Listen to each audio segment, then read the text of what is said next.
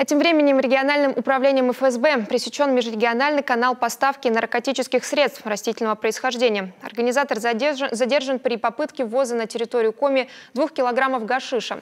По задумке наркоторговца, изъятые из незаконного оборота вещества преимущественно предназначались для распространения в Ухтинском районе. Возбуждено уголовное дело. Между прочим, за данное преступление предусмотрено наказание в виде лишения свободы на срок от 10 до 20 лет.